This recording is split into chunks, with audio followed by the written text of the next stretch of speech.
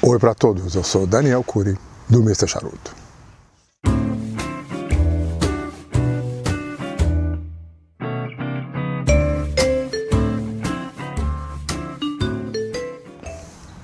Nosso charuto hoje é um charuto da Nicarágua, um puro nicaragüense.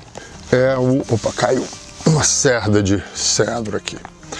Ele é esse aqui.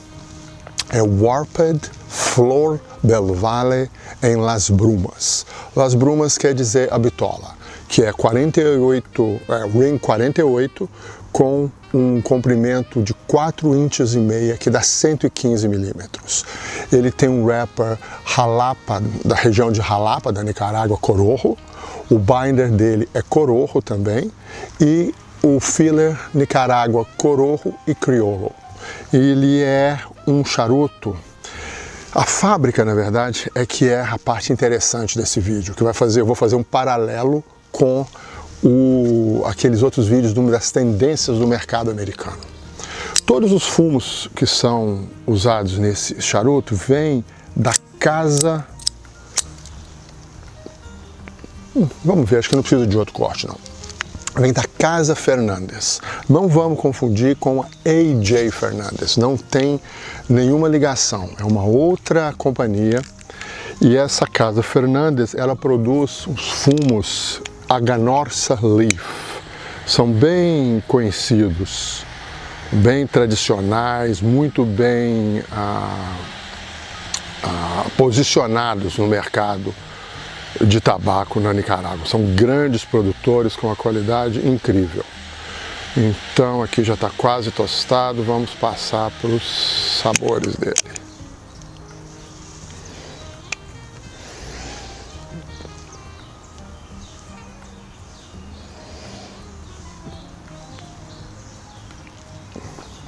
Ainda está um pouco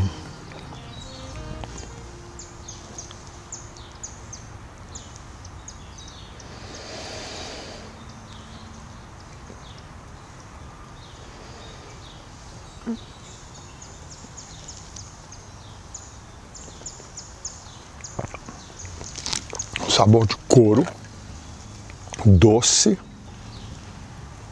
sem pimenta nenhuma, sem nenhuma especiaria, nenhum nada que agride, muito, muito cremoso, muito suave, uma fumaça densa e, e não é oleosa, é, é cremosa, é uma fumaça macia. Né?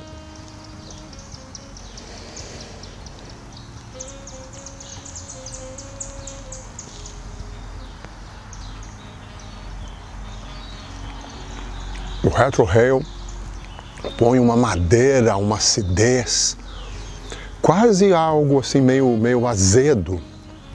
Muito, muito interessante, muito complexo no começo, bem, bem, bem doce mesmo, bem cremoso doce, e o couro, couro incrível.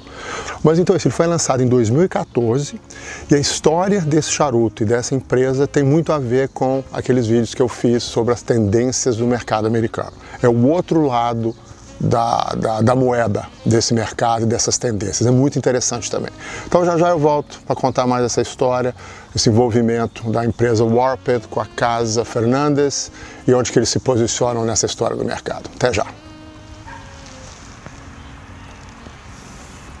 A cinza acabou de cair, já passei do primeiro terço. A cinza estava maravilhosa, a gente consegue até ver um pouquinho de tooth nele, aquelas, aqueles pontinhos brancos.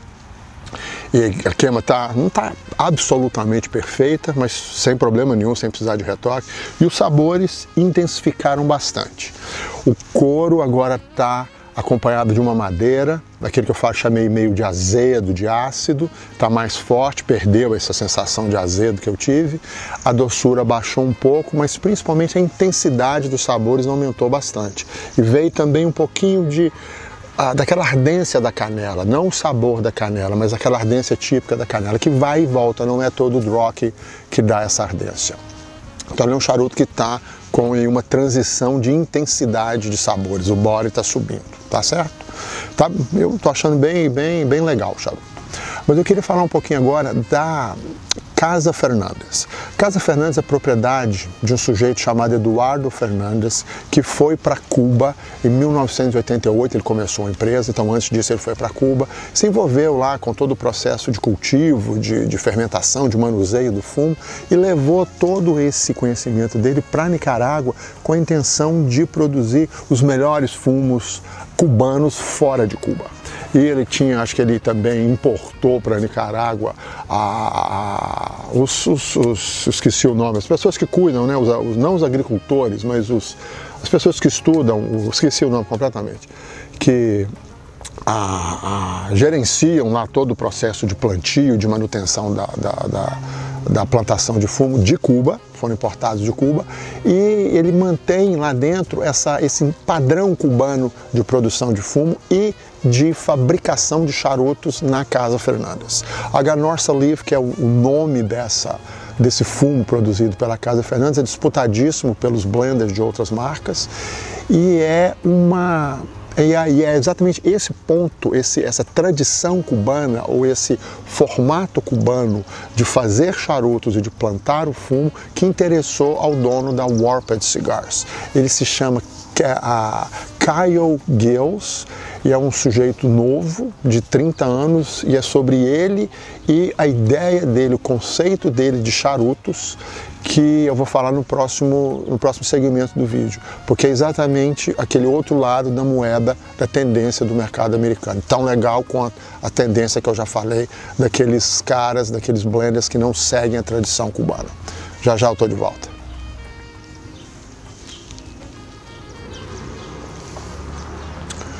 continua com um fluxo espetacular. Eu diria que agora ele está com um pouco de strength. Eu estou sentindo um pouco de nicotina nele. Os sabores continuam bem, bem ah, os mesmos, não alterou muito, nem intensificou muito. A doçura que talvez desapareceu por completo e continua ainda com couro e madeira. É impressionante o, como o couro é, é fácil de se notar nesse charuto. Ele é muito evidente, o, o, o sabor de couro. Eu acho uma, um dos melhores sabores no, no no, no, charuto. Se fosse, quando tivesse, tivesse mantido a doçura inicial, eu diria que estava perfeito para mim. E o strength é que está um pouquinho chegando, um pouquinho, mas também nada em excesso, não é um full strength, definitivamente não é. Bom, mas vamos falar um pouquinho então da Warped Cigars. Como disse o nome do proprietário, é Kyle Gills. Ele é um cara, hoje em dia deve ter 30 e poucos anos. Ele fundou a empresa em 2009 e em 2014, quando ele se formou na universidade, alguma coisa relacionada à, à publicidade, ao marketing, alguma coisa do gênero, ele lançou o Flor del Valle. E ele usou muito mídia social para promover esse charuto. Então ele já trouxe um novo dado aí para essa para como se a, a, a, promover, como se lançar um charuto em 2014, há cinco anos atrás.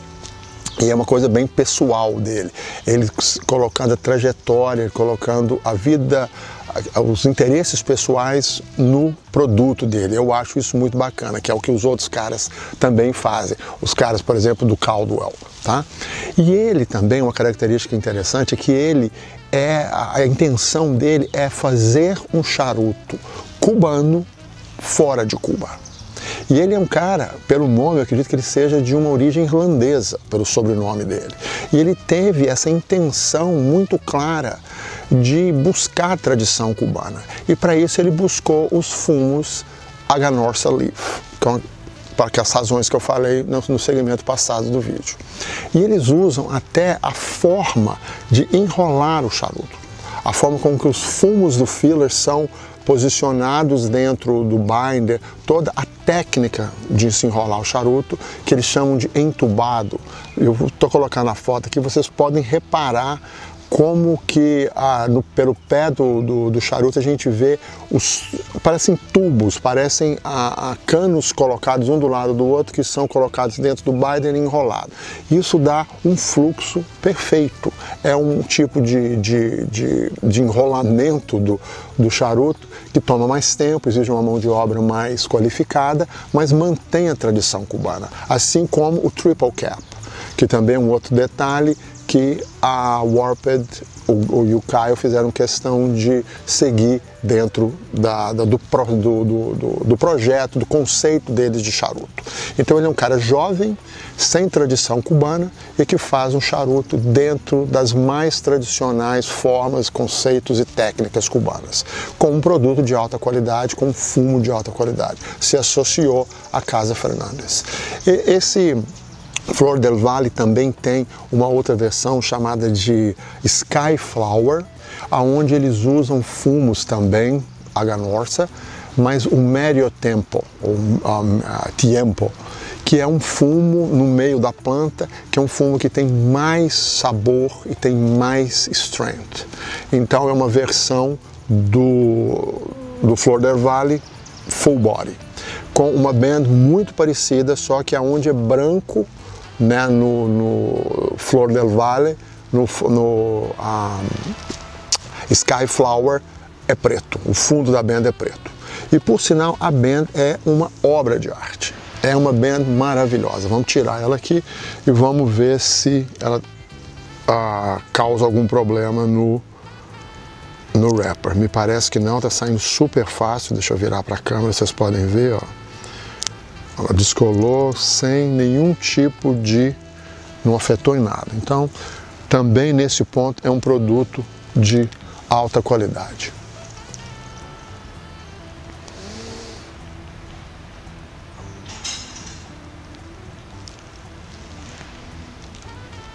Fluxo espetacular.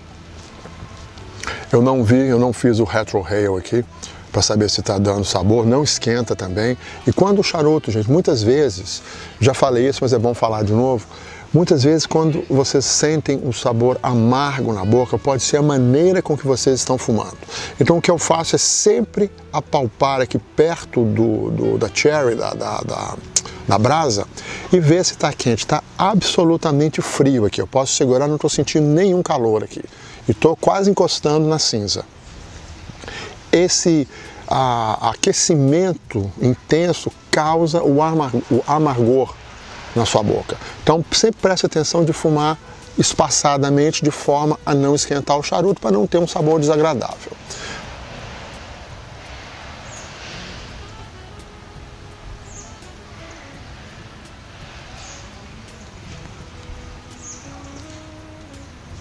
O Retro Rail trouxe um pouco mais de madeira e um pouco mais de, daquele, daquele, da ardência da canela. Mas está. Não, no verão eu achei que estava alguma coisa doce, mas não. É isso mesmo, é couro, madeira e essa ardência da canela. Então, eu acho que é isso. Ainda tem aqui, ainda vou entrar no terceiro terço, na verdade, mas eu não acredito que mude. Se mudar, eu faço um adendo ao vídeo mas já queria agora agradecer a vocês por assistirem mais esse vídeo e espero encontrá-los em breve e fumem bem até lá. Um abraço.